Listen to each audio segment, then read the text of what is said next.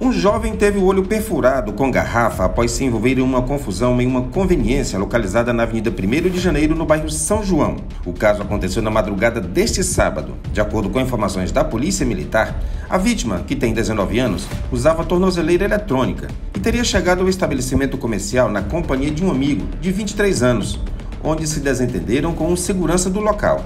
A vítima e o amigo teriam arremessado garrafas de vidro contra o segurança, que também arremessou garrafas contra eles. Uma delas acabou acertando o olho direito da vítima. O rapaz foi socorrido pelo SAMU e encaminhado para o Hospital Regional de Araguaína. O segurança de 19 anos e o amigo da vítima foram conduzidos para a central de flagrantes da Polícia Civil. O caso foi registrado como lesão corporal. Através de 190, com a denúncia de um possível lesão corporal no bairro São João, as guarnições deslocaram para averiguar a situação. Chegando no local, a vítima já estava sendo atendida pelo SAMU.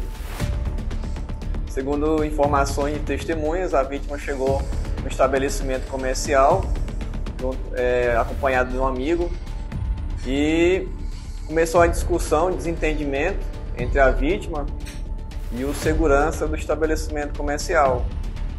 Foi quando começou o desentendimento e remessaram garrafas e uma das garrafas atingiu o olho da vítima, o olho direito.